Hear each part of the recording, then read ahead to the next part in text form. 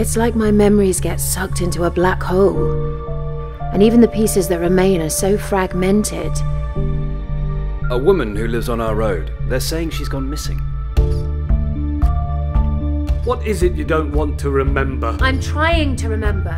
It looks as if you're trying to forget. It's like, have you ever bought a jigsaw puzzle from a jumble sale? Bits missing. Bits from other puzzles finding their way in.